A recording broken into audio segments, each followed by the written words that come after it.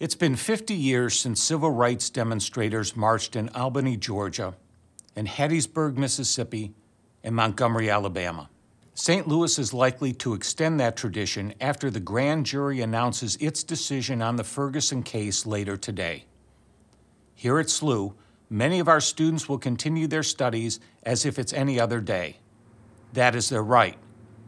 More activist students are intent on going to demonstration sites outside of SLU, while other students, on both sides of the upcoming decision, will raise their voices and banners here on campus. That is their right too. This freedom Americans so deeply cherish, to peaceably assemble to air their grievances and seek redress, is as old as our Constitution and that freedom will be exercised throughout our region. No doubt these protests will be tense. Protests often are. But demonstration organizers have said they will actively manage them to deter troublemakers, prevent violence, and keep the peace.